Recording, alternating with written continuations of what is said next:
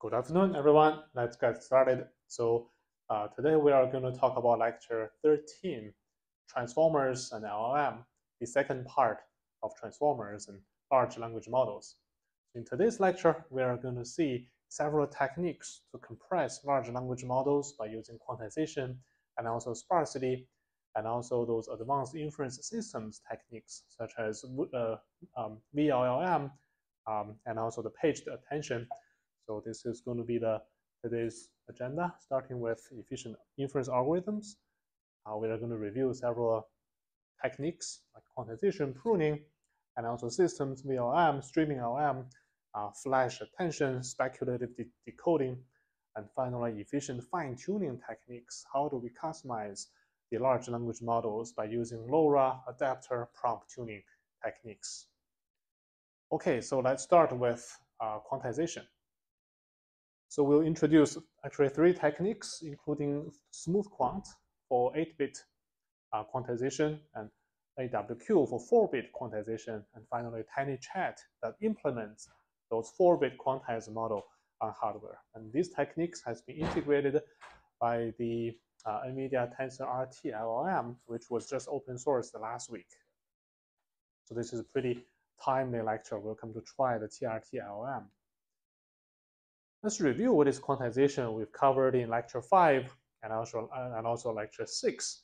Basically, we map uh, the range for the floating point range into integer values. Okay, so we have the Q and Q max.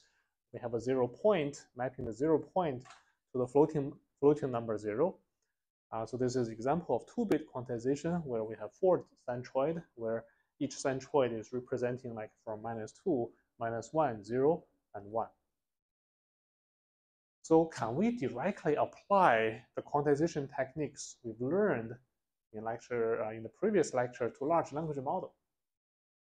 Actually, we tried it, but it failed, right? When the large the model gets larger, uh, more than uh, six billion parameters, the performance degradation is actually actually pretty severe. You see a pretty big accuracy degradation when the model gets larger. So um, we find actually this is due to large language model has outliers in the activations, making the large language model difficult to quantize. So let's see what is the um, uh, what is the outliers. So this is showing uh, the outliers in the activation. So this is showing the weight. What is the difference here? So lots of outliers like this channel, this channel, this channel, these three channels has values that is much larger than the remaining than the remaining channels. But the weight is pretty flat. The range is pretty small, between 0 and 1. But here, the value of the activation is between 0 and 70, even larger than 70. So such large dynamic range makes activation difficult to quantize.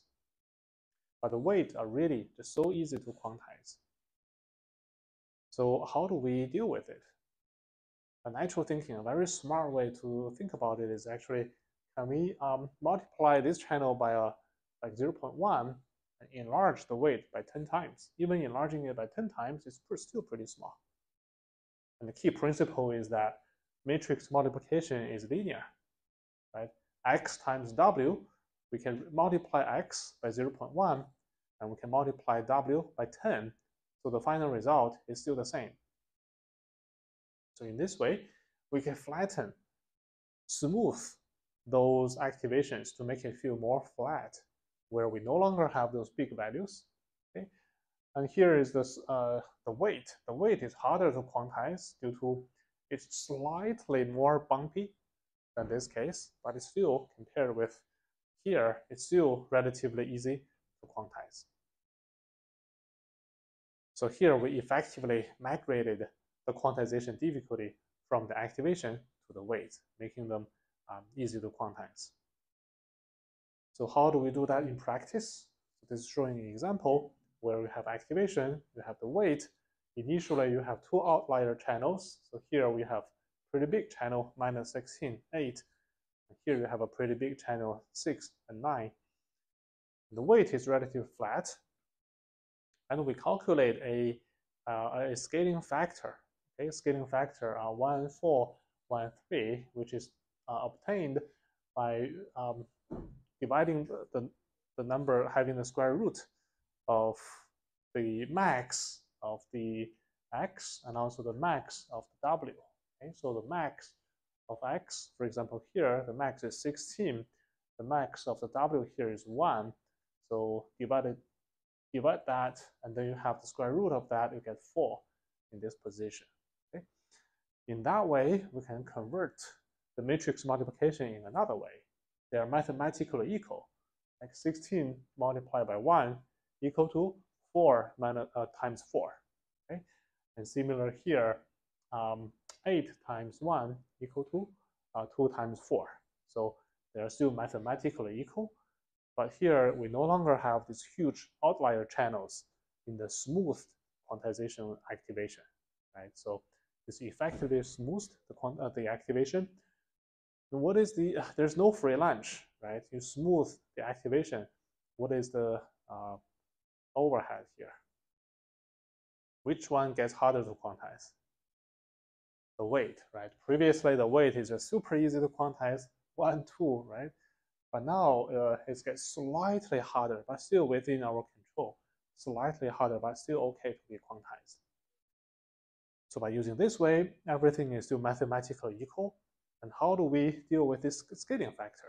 Do we have to introduce some actual computation to do such um, matrix multiplication. Like we are multiplying um, s to the power of minus 1 to x, and we are uh, multiplying s to w. Since this one, these two, they cancel each other, they are identity matrix. So we need to add extra computing to here.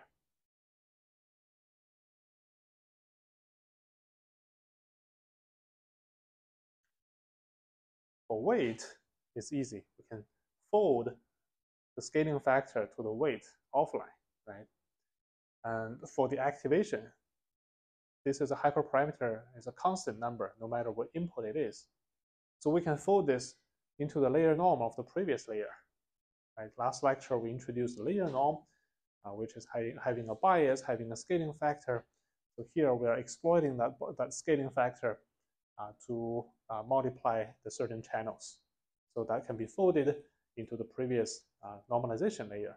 So at the runtime, there's no actual overhead at all. So mathematically equal, no runtime overhead.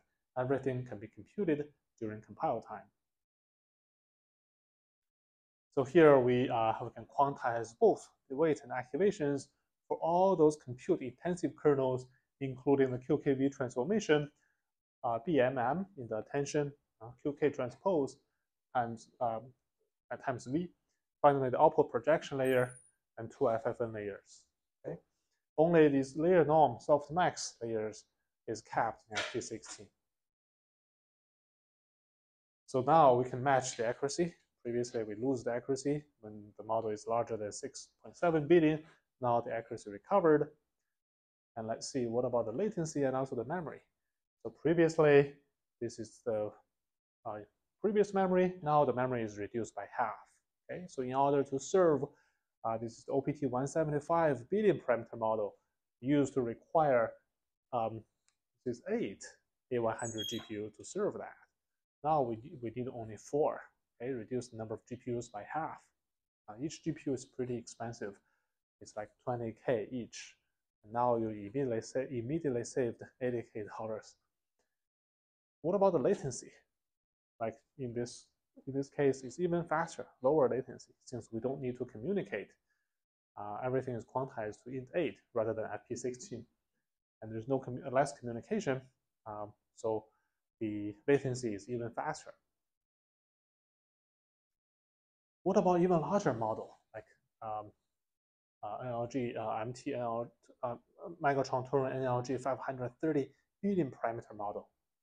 So the accuracy is pretty well maintained, and here we can reduce number of serving GPUs from 16 to 8.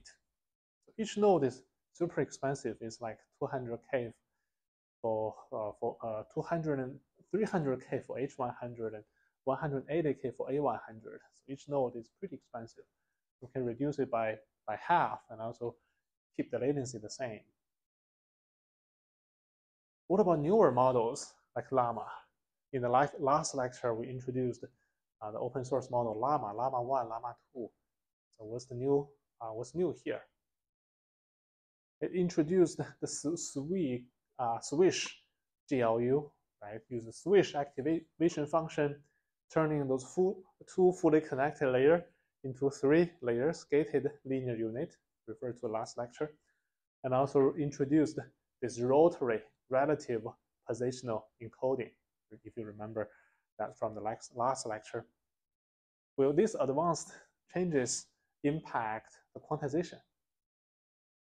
Actually, uh, SmoothQuant still works very well for this case to quantize llama families, llama 1, llama 2, make a large llama into a smaller llama. Um, this is llama 7b, 13b, 30b, all the way to 65b. Um, this is the perplexity. It's very well maintained on the Wikitext dataset. So SmoothQuant makes the weight and activation into 8-bit, right? By smoothing the activations, pushing the quantization difficulty from the activation to the weight, um, improving the uh, throughput, uh, improving the throughput for large language model. What about the batch size is small, okay? In the edge scenario or real-time interaction, like you want to talk to a robot, um, one-to-one -one conversation. When the batch size is small, we observe uh, this is the uh, roofline model. Okay, the x-axis is the compute intensity. The y-axis is the measured uh, TOPS per second. When the batch size is one, there's actually a pretty low utilization. This is your peak, peak um, TOPS per second. This is the measured TOPS per second. It's very well underutilized. It's highly because it's highly memory bounded, right? Uh, because large language models are pretty big, like Llama 2 7B has 7 billion parameters. If you're using FP16, how many storage do you need? That's 14 gigabytes, right? 14 gigabytes, that's pretty big. You have to fetch 14 gigabytes in an auto-regressive manner, which means generating each token requires 14 gigabytes of memory access. Remember, computation is cheap, memory is expensive. We have to, we want to reduce those memory footprint. And compared with the activate, uh, the weight, the activation is actually small, right? So the weight is like 4K by 4K, um, but the activation, if it's single batch, is like one by 4K. It's a thousand times smaller. Therefore, we should focus on compressing the weight. So that's why we introduce uh, this low bit weight only quantization. We're also going to see that in the homework. So that's why we need such uh, weight only quantization to reduce the memory bandwidth. Uh, previously, we have to fetch uh, 14 gigabytes of memory. What about if we quantize the weight to 4 bit for Llama 7B? What is the memory footprint now? Three and a half, right? Three and a half gigabyte, four times smaller. So this is naively doing that from, uh, this is a weight matrix. So you know, using the FP16 representation, the 4 8 by 4 matrix, this is the quantized version. It's again 8 by 4, but it's quantized uh, using um, 3-bit in this case for easy uh, to, to show it. But immediately we see this perplexity degradation. The lower the perplexity, the better the quality. But here, unfortunately, there's a huge jump um, of the perplexity if we naively quantize it. Perplexity is a measurement of the quality of a language model. It's showing the uh, the accuracy of predicting the next word, whether you're accurately predicting the next word or not. So the lower, the better. So unfortunately, directly doing round to nearest quantization using 3-bit hurt the accuracy a lot. Uh, even if we're using this uh, group-wise quantization, so here every um, 128 numbers are quantized together, and we have a shared scaling factor, a finer granularity of shared uh, scaling factor every uh, 128 elements, which we covered in the second lecture of this quantization part. Interestingly, we find not all the weights are equally important. just by quantizing 1%, um, keep 1% of the rows in FP16 can help a lot immediately bring back the perplexity to the original value. This is so amazing. We seem to find a way to quantize that, right? Only keep 1% into FP16. Um, like here, only one channel, keep it as uh, the same as before. Just don't quantize it. And immediately bring back uh, the perplexity, the quality, okay? So therefore, we have two natural uh, to-dos. One to-do is to think about how do we choose those um, channels, which channel is important. There exists, the channel is only 1% of the channel, but how do we systematically select those 1% of the channels? And second to do is keeping FP16 will make the inference kernel difficult. How do we get rid of this mixed precision and still use full quantization? Everything will be in blue rather than having 1% in, in yellow. So let's answer those two questions. When we are doing pruning, how do we select these important weights? Which one to prune, which one to remove? We look, look at the, uh, the weight itself, right? If it is large, we think, oh, that's an important weight, important channel, we should keep it. What if we do it here? the weight. If it is large, we just remove, oh, keep it, otherwise we remove it. Unfortunately, perplexity is pretty high. And we did another way. Don't look at the weight. Since weight is multiplied with the activation, let's look at those activations. Since during SmoothQuant we find some activation are pretty huge, we want to preserve those outlier channels. So say this is outlier channel. This is a pretty big activation channel, and that is consistent for different inputs, different tokens. They're all big channels. And then if this channel is big in the activation, this corresponding weight is considered salient or important. We should keep them. So using this way, the activation, not the weight. That's why we call it activation aware weight only quantization. We are quantizing the weight, but you look at activation to, to determine which weight is salient by looking at the activations uh, magnitude, it's easier um, to recover the perplexity. So we solve the first to do. Okay, look at the activation, not the weight, to determine those 1% salient channel. Then we have the second to do, right? Um, can we uh, don't not rely on this mixed precision, still use all FP sorry, all int 4 or all int 3 to get rid of this mixed precision. We tried a very simple technique. We just multiply uh, this weight channel by 2 and divide the activation channel by 2. So they are mathematically equal, like SmoothQuant. Um, so by multiplying it from like 1.5, 2, and 4, we find um, this is a very effective way to recover the perplexity without introducing um, this FP16, 1% of channels in FP16, just multiply that salient channel by a number larger than 1 and bring back um, this perplexity. This is so amazing. Previously, we have to rely on rely on 1% of the channels being, quant uh, being unquantized, being FP16, making the kernel difficult to write. But now, just multiply the salient channel by a larger number and it will recover. Another, but another problem came. How, how large should we multiply that channel? Like here, you first see um, the perplexity decrease and then increase. So there must be a sweet spot. Uh, we want to automatically search um, uh, the multiplier. So let's see, analyze first. Why enlarging the channel make it easier to recover the perplexity. So this layer is not denoted by weight times the activation. And then we care about the quantization error from the quantized version of the W times X. Okay. Um, so QW, quantized version of W, basically equal to uh, we uh, this is defining the the range. Okay, we divide the range by the number of centroids. Since you have n bits, they are to the power of n minus one um, centroids, and this is the distance between each centroid.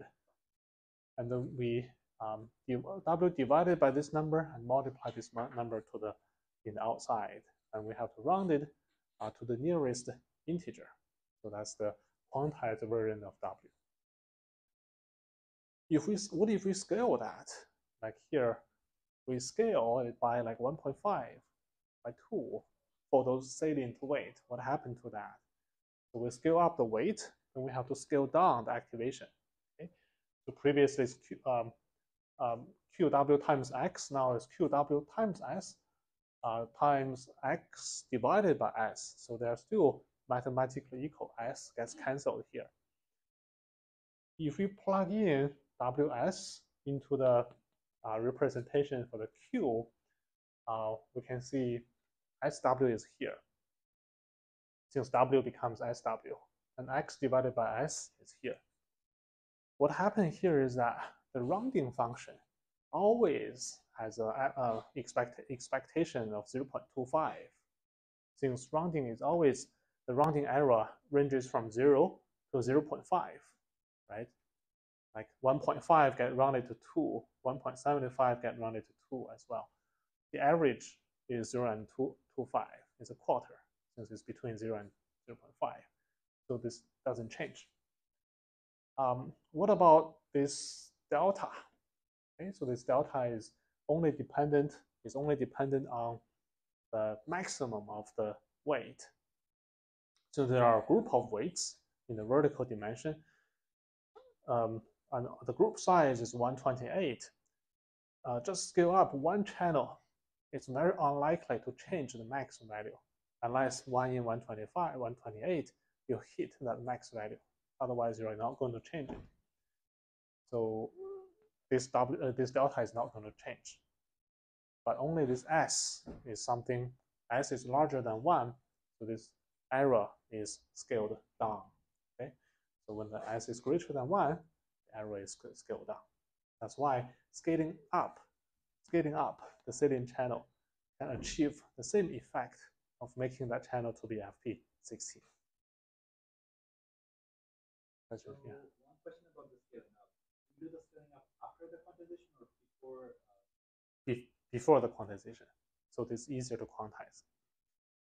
Okay, so we scaled it up, and then the equation is very similar to SmoothQuant. Make it easy uh, to in, uh, for industry to put into products. Right, same infrastructure. You can do either SmoothQuant or AWQ. So here we times W times S, X divided by S. This can be fused to the previous operation or fused into the layer norm. And then we take a data-driven approach to do a, a, fast grid search to search the uh, best scaling factor, which is greater than 1. And later follow-up work even proposed a learning-based method to use gradient descent to learn the best scaling factor. So this is 3-bit uh, group size 128 on Llama, uh, and also Llama 2. Uh, AWQ shows consistent better performance compared with round to nearest or GPTQ or GPTQR, like 7B all the way to 30B models.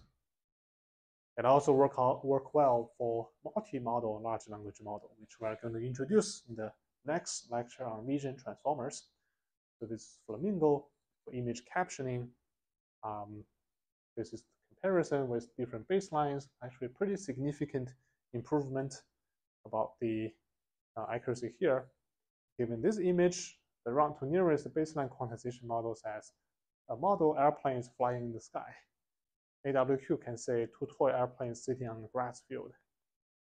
This one baseline model is saying a man is holding a baby elephant in his arm versus AWQ says a man and his daughter pose with an elephant. Uh, the last one, a man and a dog walking past some bushes versus AWQ, two dogs are walking on the street. Can even um, use LLaVA, quantize LLaVA to do visual reasoning. Like given this, uh, there's some caption here, but it's all represented in the image format, although it has some text. You have to automatically to do OCR to understand it. Some chicken like a world map. Uh, the baseline quantization RTN model says there are small pictures of the Earth and other planets placed on top of the food, versus AWQ says light-hearted and humorous take on the concept of looking at the pieces of the Earth from space.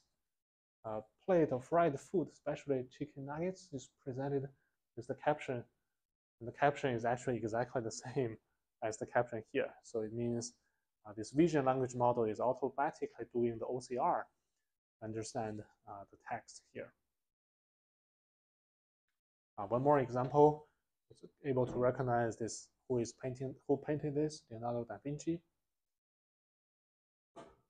Okay, so uh, SmoothQuant and AWQ are widely used these days. That's why we also put it in the homework uh, in the lab 4, which we released last week. Uh, we'll give you the code and also it will pave the way for lab 5, which we are going to actually implement that on a laptop um, NVIDIA Faster Transformer and TensorRT LLM, this is the library to run large language model inference, which is actually pretty amazing library released actually last week. How amazing, how timely we are. Um, TensorRT LLM, the intro, uh, the, uh, they are using the SmoothQuant um, and AWQ as their quantization approaches. Also, Intel chain Berkeley's VLM. We're going to talk about that. Berkeley FastChat, uh, Hugging Face, and Sense Time. And several open source community have been using that. Okay, so how do we translate this uh, theoretical saving into measured speedup? And can we deploy this large language model on edge devices, like on our laptops, our phones? Okay, so I'm going to introduce TinyChat, which is a lightweight chatbot for large language model on the edge. This is what we designed, 3, 3D printed computer, which has a Jetson Orin Nano inside. Um, and we also have a demo here on the right. So deploying large language model on the edge is quite useful. For example, you run Copilot locally on your edge device, code completion, Office, game chat, especially coding. Um, some enterprise data is privacy sensitive. You don't want to upload to the cloud. Um, but these devices are very resource constrained. Here, it's only a small uh, Jetson Orin Nano, resource constrained, low power, and also do not have access to the internet always. Privacy is important. Okay. So here with our TinyChat computer, you can ask questions uh, and so scroll up to see the previous answers. So basically, TinyChat uh, implements this 4-bit compressed AWQ model. Okay, the weight is 4-bit to save the memory footprint. And here we are doing um, running it on different laptops. This is running the code llama to writing code using code llama pretty fast. And this is um, comparing MIT Harvard use give it different prompts, blazing fast. After lab four, you are going to implement something similar on your laptop, uh, lab five, and feel free to continue improving that and pushing to the code base of TinyChat engine as final project, which is open-ended, but this could be one of the choices. And the key technique to enable such fast inference is algorithm and system co-design. So on the algorithm side, 4-bit AWQ quantization. On the system side is the tiny engine technique and parallel computing techniques. We introduced loop unrolling, blocking, cache locality, right? Um, and also multi-threading, CUDA programming, different techniques. And also how do we um, lay out the 4-bit weight in memory and runtime decoded from 4-bit to 16-bit to avoid this decoding overhead. Um, that is also one of the key technique to make it run fast. This is comparing on the 4090 GPU without and with AWQ, how, uh, how, how fast, how much speed up we can get, right? So the FP16 version is storing both the weight and activation in FP16. So that's 50 tokens per second running on 4090 GPU. Um, this is the AWQ version. Okay? The weight is only 4-bit, activation is still 16-bit. Um, since this is the memory bottleneck, not activation. So we keep activation in FP16 uh, to preserve the accuracy. And we runtime decode the weight from int 8 int, int 4 to FP16 and do the arithmetic in FP16 since computing is cheap. Memory footprint is expensive. This is exactly the way uh, we did in the efficient inference engine ISCA uh, 16. Now this method reborn and proved to be quite helpful uh, to accelerate this large language model uh, for real-time inference. This one already finished. This one still slowly making progress.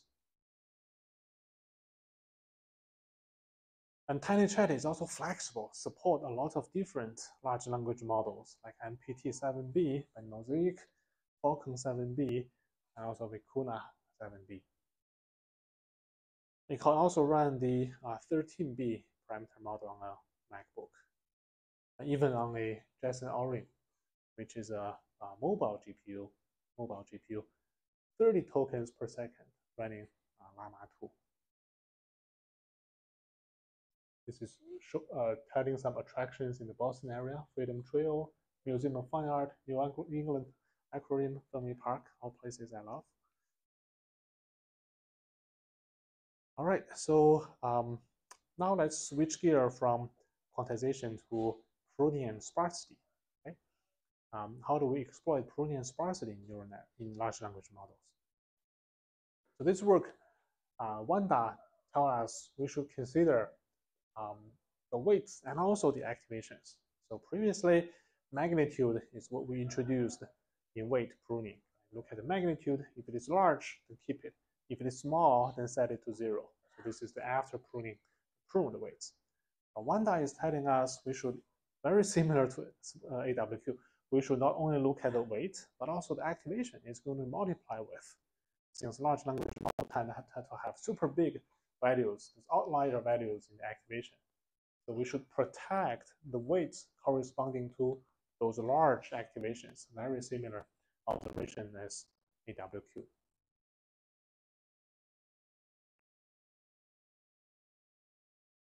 If it is large, then we keep it. Otherwise, we uh, throw it away, set it to zero. So the resulting pruned weights, the mask is actually different from the original one. And it turned out to be uh, quite helpful um, compared with the magnitude-based pruning, which is the first row. So take home is use weight times activation absolute value as a criteria rather than just look at the weight itself. There's also opportunity for activation sparsity, okay? not only the weight sparsity, but also the activation sparsity. So this work from our group in HPCA 2021 called SpAtten uh, introduced this token pruning and head pruning. Since the attention mechanism, if you recall, has no weight, QK transpose softmax times V, that's it. They're all activations, there are no weights. So we have to prune the tokens. And luckily, there's plenty of room to prune tokens. Like here, we start with like 11 tokens, but not all tokens are important. It's very safe to prune this sentence as a visual treat. The film is almost perfect into as treat film perfect in the first layer. Okay, so compress it to five tokens. Initially, it's 11 tokens. In the next layer, we'll continue prune it to two tokens, like film perfect. And still, we can classify the sentiment. The task is to sentiment classification. It's still positive, right? So therefore, um, we can do such cascade uh, token pruning. Why it's called cascade? Because we prune a little bit and then a little bit gradually we prune very aggressively. So how do we determine which token is going to be pruned away? Let's see this example. I bet the video game is a lot more fun than the film, similarly here. And we calculate the attention map It's n by n attention map, right? And here we are going to see the cumulative attention score, cumulative attention score for each token.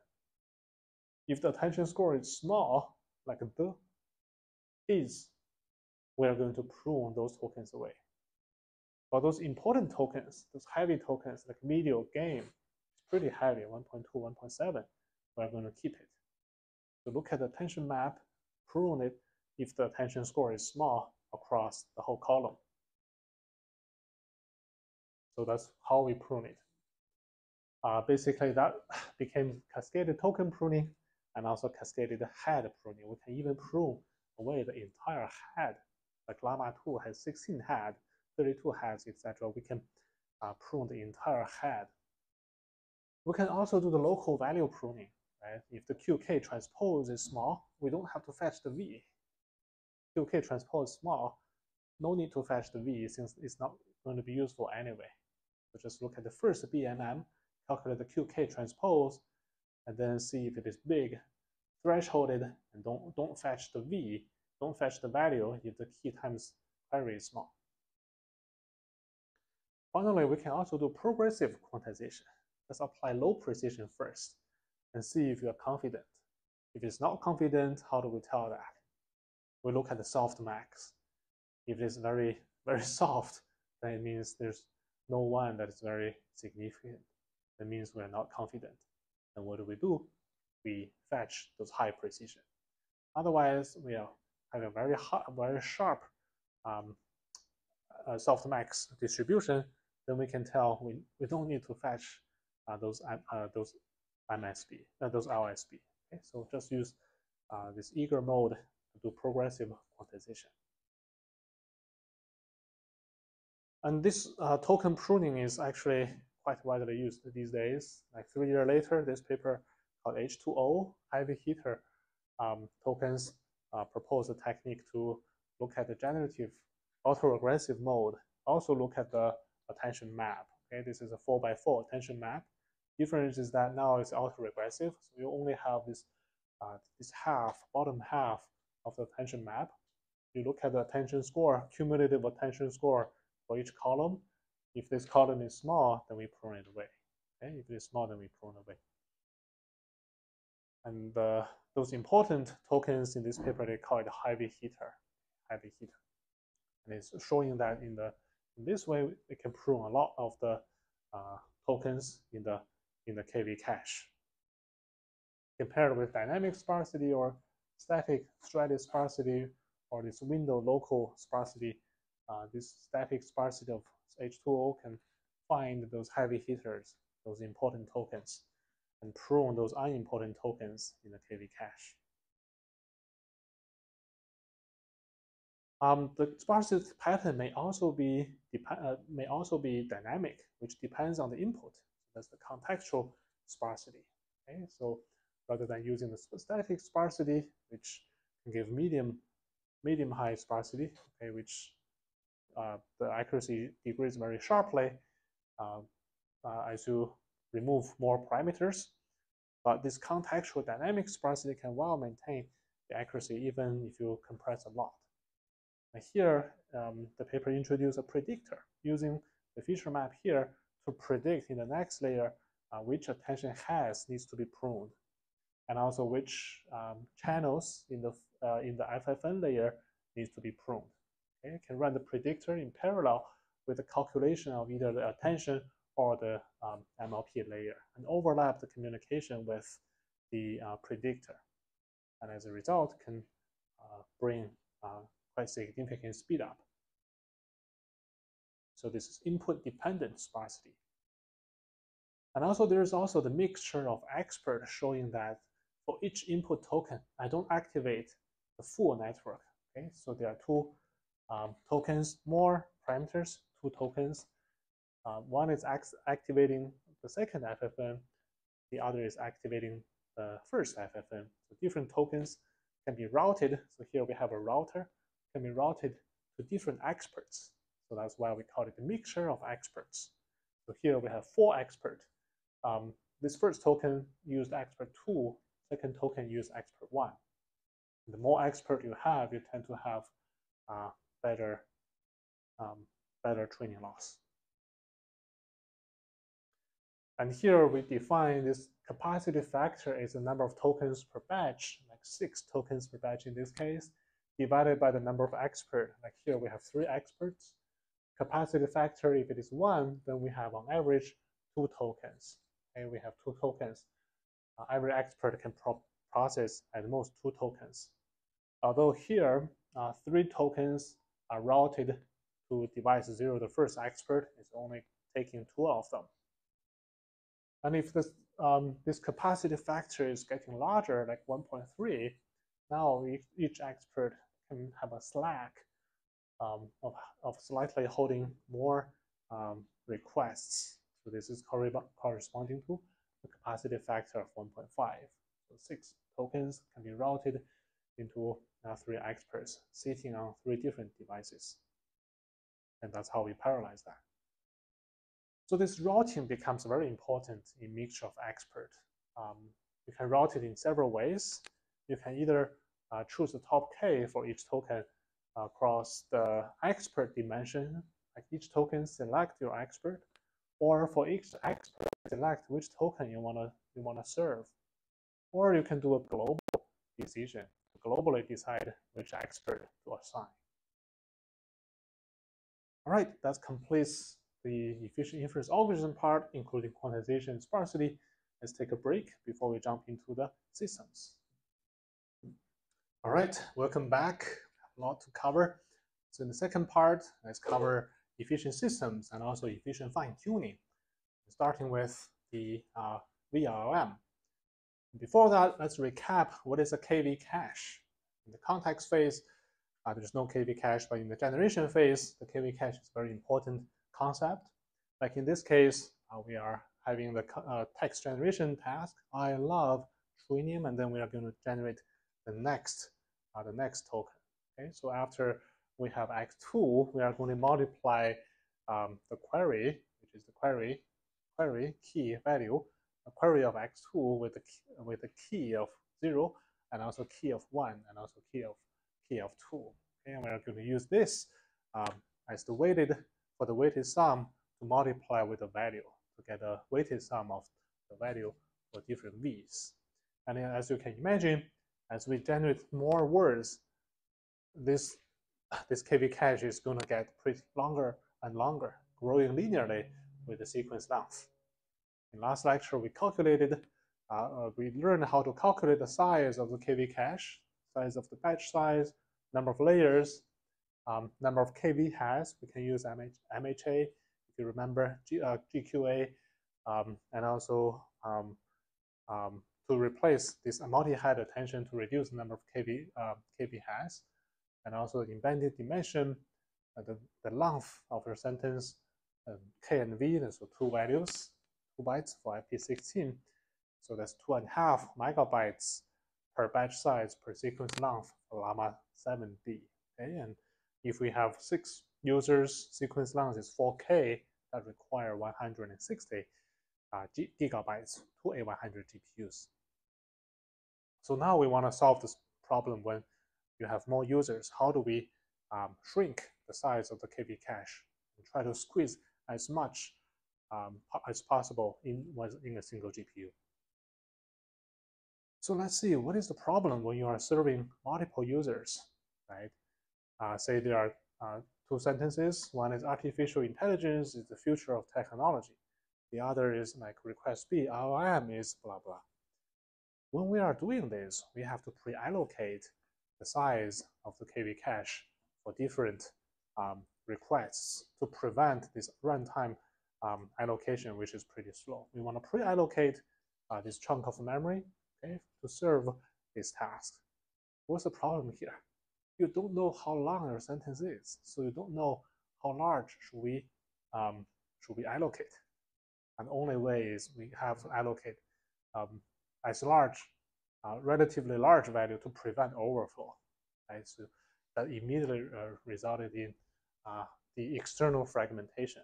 Okay? We are not using that, but we have to re uh, reserve that. So um, due to the different sequence length, some are long, some are small, different requests, you have external fragmentation. And also internal fragmentation, you have to over allocate due to the un unknown sequence output length? Um, these um, 2000 tokens are wasted. And also the reservation um, uh, loss due to when you are generating like future, these are not generated yet. They will be generated in the future, but still you have to allocate this at this, this timestamp. So wasting here, wasting here, and wasting here which reminded us of what? The operating system, right? When you're um, trying to manage the memory for different processes, like process one, process two, uh, they have the memory fragmentation. So this is the analogy between memory, uh, operating system versus the large language model serving. You have two different processes, A and B.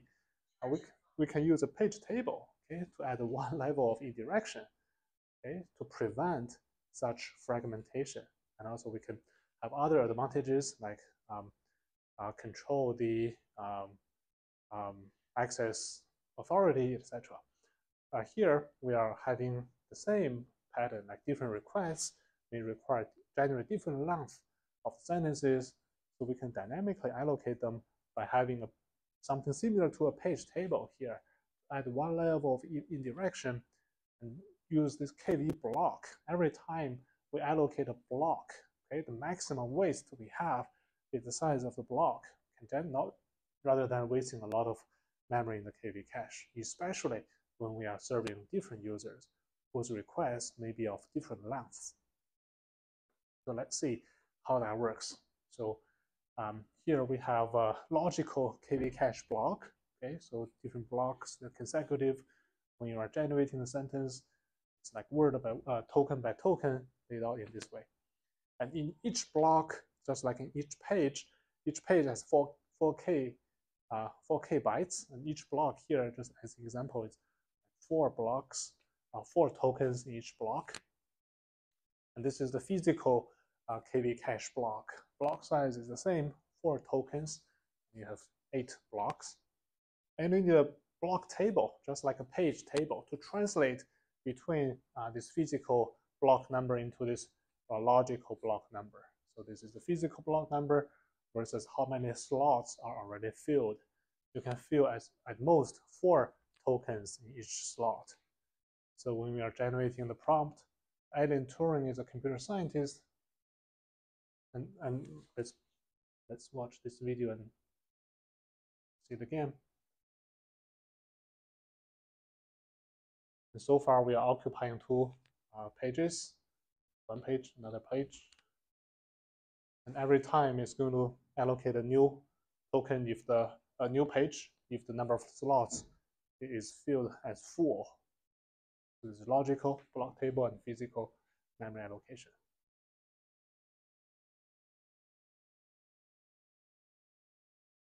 Interesting part is when you're getting renowned, it's not consecutive.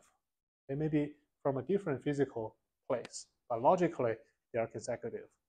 And the translation is done through the, um, uh, the block table, mapping the uh, physical block number into the logical block number and counting the number of filled slots. If the number of filled slots is full, like in this case, four, we have to allocate another page in the physical memory.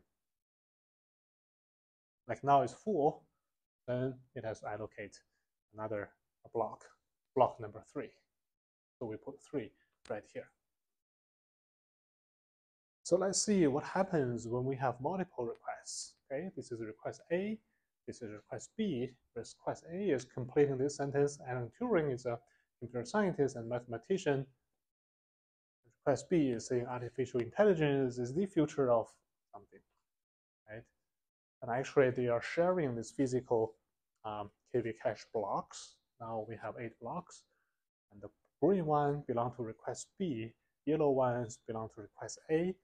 Um, they are interleaved um, so that we, we no longer have to uh, have this uh, worry about this external fragmentation since every time we just allocate a page, And the maximum of ways we have is probably three in this case. And the amazing part for large language model is that we can share. We can share um, the prompt when we are doing parallel sampling. Parallel sampling is saying the future of given the prompt. Okay, uh, they can be shared across different uh, sequences. You pass it through the large language model. and say future of cloud computing is bright and poised for future growth. Is intertwined with advantage of AI. Is likely to be characterized by several key trends uh, such uh, such um, parallel sampling is especially helpful when you are doing the co uh, co-pilot, like you are writing the code, you give it a prompt, you want it to give you several suggestions, three different suggestions, you pick your favorite one. And in th this case, we can share um, this, uh, this prompt in the KV cache rather than having three separate uh, memory allocations. Just one memory allocation okay, the future of cloud computing is. Okay, um, so two different um, requests they can use the same amount of uh, memory for the the same piece of memory for the um, for the prompt. Okay, so that's v, uh, vLLM, uh, V for virtual, and let's switch gear to jump into streaming LM. Okay, now we handled multiple users in VLM okay, and multiple users, multiple requests. What about much longer sentences? You want to have a continuous chat with a virtual chatbot, like a virtual girlfriend. And how do we prevent it from uh, forgetting your stuff or getting out of memory? So uh, those are the streaming applications um, uh, where you want to run these multi-round dialogues with very long interactions, right? So conventional method, right, using the transformer um, and also windowed attention, you can see uh, using a naive transformer, the, as the input sequence length gets longer, the memory grows linearly. So a natural approach is, uh, although the memory is growing, that doesn't mean it's working well because if it is exceed your contact, training context length, the perplexity is going to hike, is going to break.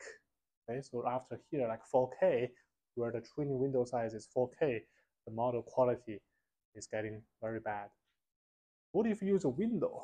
Right? Can we just use a window uh, so that we can uh, use a limited amount of memory? So if you use windowed attention, that's the uh, green part.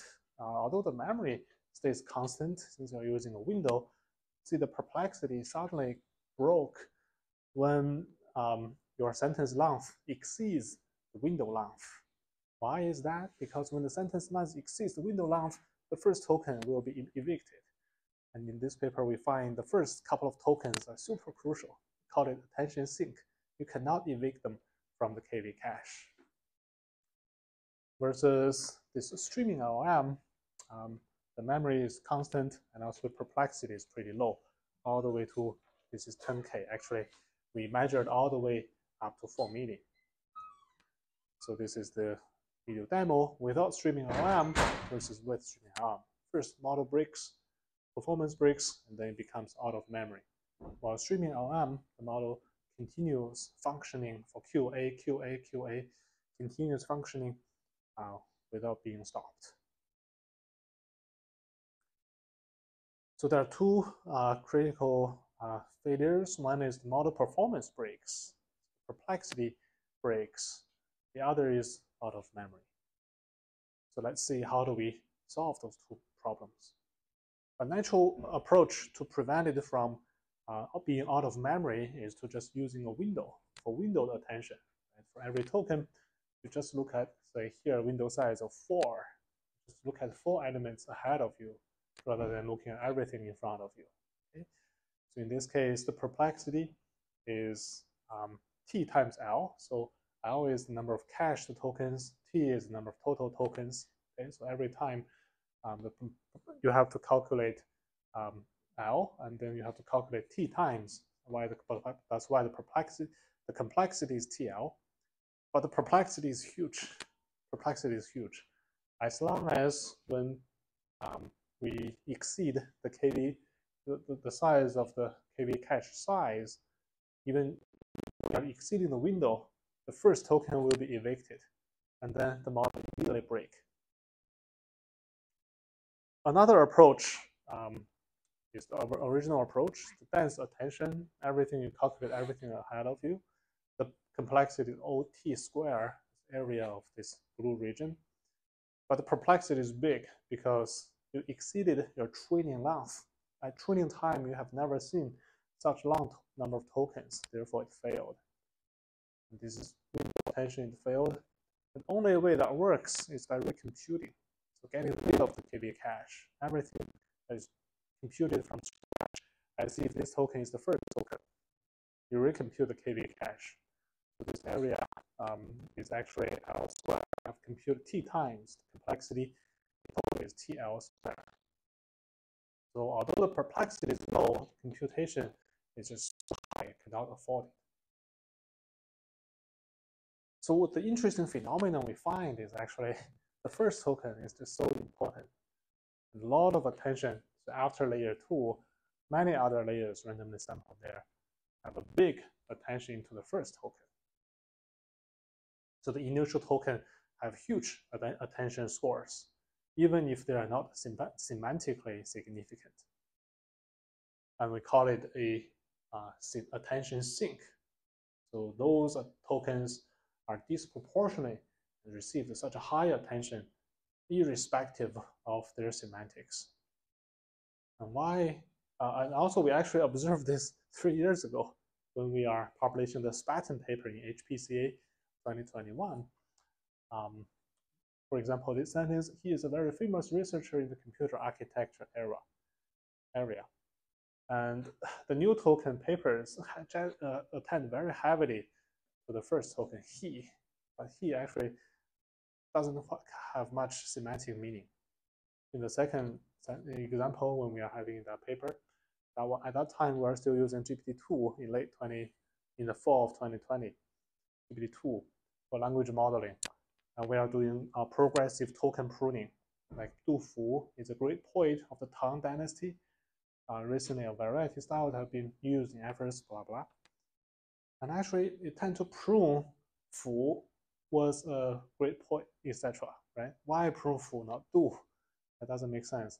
Actually, because Du is the first uh, sink token. That's the attention sink. So we've observed this phenomenon like three years ago, but not until today we figure out and had, had a deeper understanding why that's the case. It's actually due to the softmax function. In a softmax, it has to sum up to one, probability has to sum up to one. Even if some of the tokens are not quite important, it doesn't necessarily have to attend to each other, but the attention score must sum up to one for all the contextual tokens. So the initial token is special.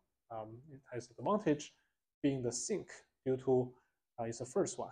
All the subsequent tokens will attend to the first token due to the autoregressive manner. Um, therefore, uh, the word being predicted all attend to the first token. So since the softmax has to sum up to one, if something is not quite related, they just decided, the neural network just decided to dump all the attention scores to the first token. And that's the attention sink hypothesis. And we try to see whether it's the position that matters or the semantics that matters. So we try to replace the sink token with just slash n, which is a line break, doesn't have any meaning. But we find actually it performs function almost as well as using the uh, for uh, original token as the attention sink. Much better than doesn't have any attention sink, which is showing that the um, position matters. The first four tokens, the position matters, not the semantic. Even replacing with line break still works. Very interesting phenomenon. Therefore, our solution is just to add back the first column as always. Just always keep the attention sink, okay? and then do windowed attention later. So we are generating token 7. Um, assume the size of your uh, KV cache is 8. Now everything is a KV cache. When you are generating token 8, we keep the attention sinks, four in this case, skip four, and then using a rolling window manner for the remaining tokens. And don't forget to change the positional encoding. Um, for this is the attention sink, evicted token, rolling KV cache. We want to have the um, relative position in the KV cache rather than the original uh, uh, absolute uh, location position. So the positional encoding would be 0, 1, 2, 3. Then here is 4, it's not 6. So that's the only thing we need to change. And the integration with streaming LLM with the attention the vLLM is very simple. Just to pin the first page in the KV cache. Never evict the first page of the KV cache. Certainly, it will introduce a little bit of overhead since you actually just need to pin like four tokens, but a page maybe 16 tokens, but it's very easy to implement. Just pin the first page in the page attention and then change the positional encoding, and then you have the vLLM uh, integrated with streaming LLM. Actually, they already did the in integration in the past two weeks, which is super exciting. So now we can uh, compare the dense attention with window attention with sliding window uh, attention with recomputation versus streaming LLM. Uh, previously, the window attention breaks when the length is greater than the KV cache size since the first sink token is evicted. And for the dense attention, the performance breaks once the length is longer than your pre-trained uh, window size versus uh, this recomputation, uh, sliding window with recomputation versus streaming LM, they can both well maintain the perplexity. They pretty much overlapped, so you cannot tell the difference having very low perplexity. But why not recomputation? There's a huge amount of computing overhead. So, and also we tested all the way up to 4 million tokens. That's very long and didn't stop, stop working. So uh, the model for different models, Llama 2, 7B, 13B, 70B, different models work consistently well all the way to like 4 million tokens. It didn't stop. So now we compare with the only working baseline, which is sliding window with recomputation. Just get rid of the KV cache, recompute KV each time. Actually, we can make it um, reduce the latency from 1,400 to only 65 more than 20x speed up compared with that baseline. Um, saving the memory and also works quite well for different models. So how many attention sinks is needed? Previously we mentioned four, but why is that the case? Uh, we tried different um, configurations, like without the KV, uh, without the attention sink, keep zero tokens in the front, the model, the perplexity exploded. One attention sink 11, two attention sink 10, four attention sink 9, and the eight attention sink doesn't quite help. So it uh, begins to plateau between 4 and 8. So we decided to use 4 tokens as the number of the attention sinks. But this still seems to be an arbitrary number. Why 4 attention sinks? If we have the um, luxury to train the model ourselves, can we train a large language model that only one, need one single attention sink with one dedicated attention sink. Okay? So we train the models from scratch in, by introducing an extra learnable token at the start of all the training samples okay, to act as a dedicated attention sink. And this is the uh, comparing the vanilla versus plus the sink token. Um, the pre-training loss is actually actually a little bit better in this case, although this is a pretty small model, we have to verify that on a larger model. Uh, call for collaboration here. Um, to verify adding this attention sink actually can also reduce the training loss for larger models. Um, this is showing the uh, cache config with only one attention sink. If we have the luxury to train the model from scratch using a learnable, dedicated learnable sink, only one token can match the performance with a pre-trained model that requires four tokens.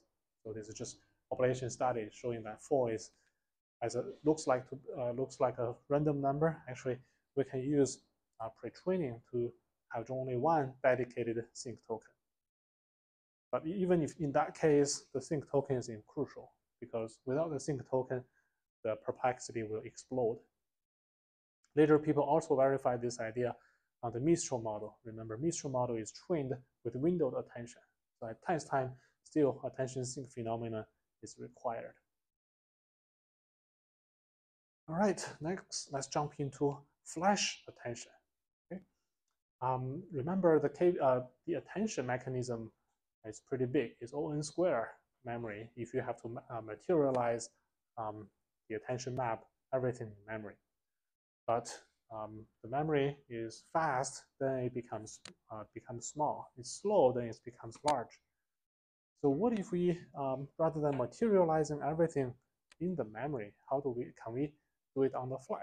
Okay, rather than materializing the large n by n attention matrix, so we try to uh, do it on the fly, compute block on SRAM, and um, the green part is in the DRAM, and as a result, it can uh, use this fused kernel uh, for QKT softmax uh, transpose and V QKT transpose uh, normalization uh, softmax times V, everything merged into a single kernel to avoid such large memory materialization and reduce the memory footprint.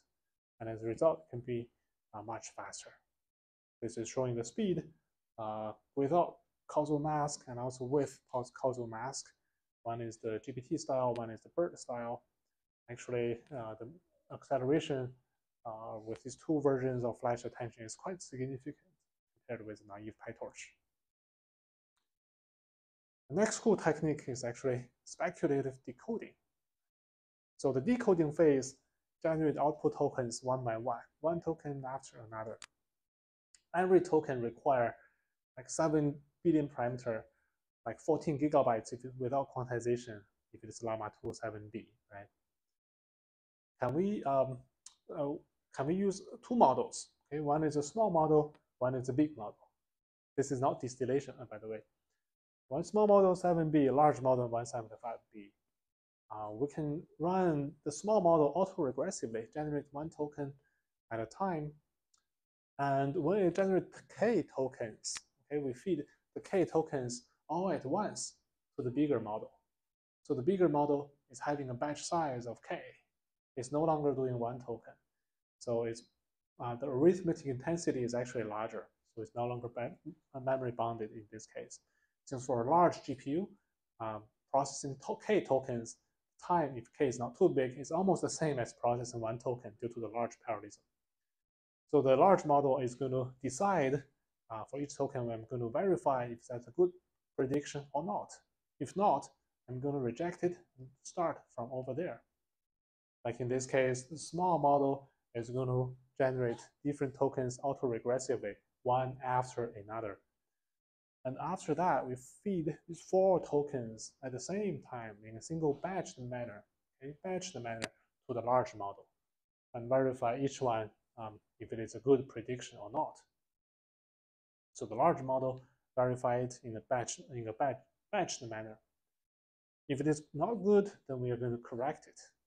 So the green part is generated by the small model, Japan's benchmark Bond. The large model uh, verifies these several tokens all together in a batch manner and find Bond is not a good prediction. It's going to re replace it with another token. And then the small model is going to generate several tokens one by one again, and feed it to the large model. The large model rejected the last one, replaced it with five, and similarly on and so on. So in this manner, um, if we are lucky, many of the tokens are actually in green generated by the small model without using 175 billion parameters, but only 7 billion parameter. But still, we have the luxury of having a larger model to verify the correctness um, but it's doing that in a batched manner to improve um, the arithmetic intensity.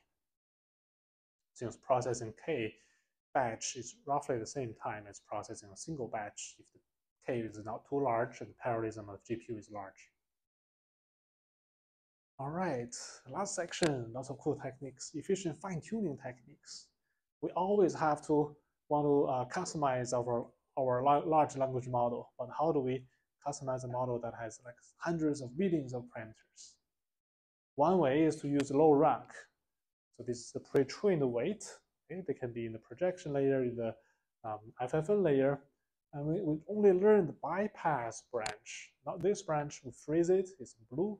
We only learn this bypass branch. Initially, initialize with uh, identity. This is a, a, random noise. This is initialized with zero. So uh, inference time, this is adding uh, no effect, but we can learn um, this bypass branch by using low dimension here. The number of weights here could be uh, much smaller. So instead of learning the full weights, we learn the bypass branch, a small low rank component. And actually can re receive, receive pretty good accuracy at much lower number of training parameters. And by the way, this is in log, so actually a huge amount saving. This is LoRa, low rank uh, adaptation for large language models. There's also the QLoRa. We can also have the quantized version. Uh, so this is the original full fine tuning. You have to store a lot of optimizer state, which is the same size of the model.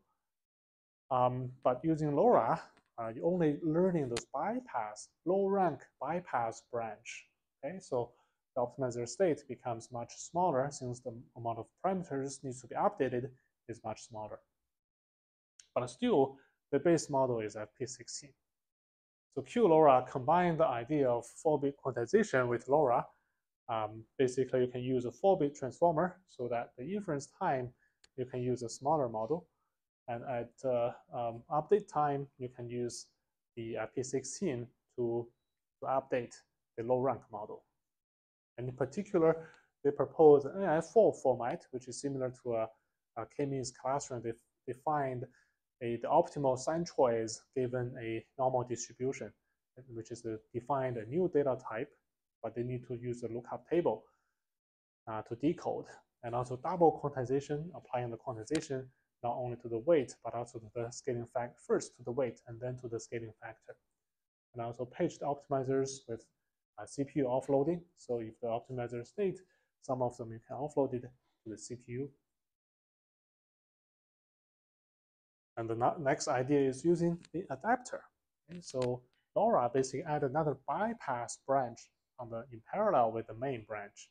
So this is in series with the main branch. Okay, that's the adapter, which is inserted into the main branch. After attention feed forward, it inserted an adapter layer, and similar here.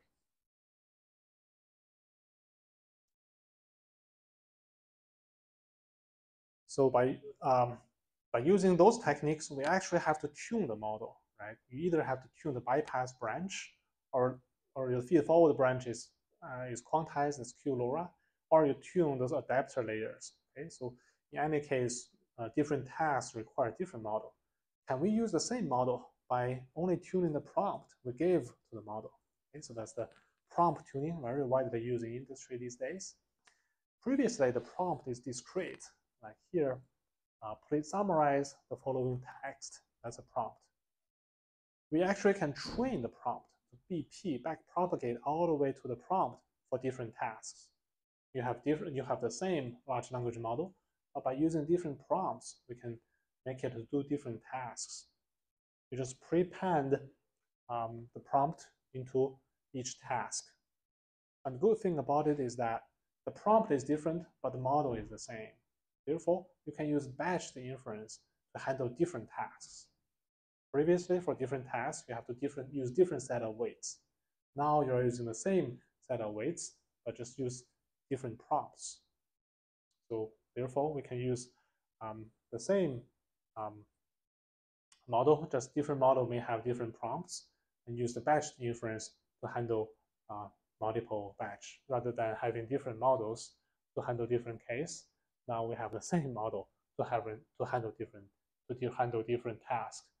Like the ABC, three different tasks, we append it to the to the beginning of our original prompt, and we feed the concatenated prompt, which combines uh, the task prompt versus our original prompt, and the task prompt can be trained, okay? so that we can take advantage of the same pre-trained model rather than having separate pre-trained models. And here is showing that model tuning and prompt tuning. This is number of parameters, and this is the um, um, super glue score, actually um, the prompt tuning can almost uh, make it as good as the um, tuning the model, okay, when the model is getting bigger, when the model, model is getting bigger. Uh, compared with like prompt design, manually design the prompt, it's prompt tuning by using this learning-based approach rather than this rule-based approach. The learning-based approach can almost match the accuracy of fine-tuning the model. And to just give you some exposure, what we learned today, how it applies to industry and what is a real world application. So very timely, NVIDIA released this TensorRT uh, LLM last Thursday, which is state-of-the-art serving infrastructure from NVIDIA. And these are the techniques used in the TRT LLM uh, in the official release. And all the green parts we have covered in the lecture. In today's lecture, in, in last Thursday's lecture, including multi-head attention, multi-query attention to save the KV has group query attention, uh, in-flight batching, page the KV cache, basically the VLLM, um, and also the um, uh, quantization for SmoothQuant, uh, GPTQ AWQ FP8, covering earlier lecture, uh, rotary position encoding. In the training section, we are going to talk about the tensor parallelism and also the pipeline parallelism. And, um, everything is open source uh, in this library. Feel free to uh, check it out and run uh, these models. So that's, that's all for today's lecture, covering the efficient model compression algorithms using quantization pruning for large language model, both weight pruning and also activation pruning, um, efficient systems, including vLLM, streaming LM, flash attention, speculative decoding, and also the uh, fine-tuning techniques to update your model using uh, either changing the weight using LoRa, QLoRa adapter, or fixing the weight by changing the tuning the prompts. All right, that's all for today's lecture. We'll see you on Thursday.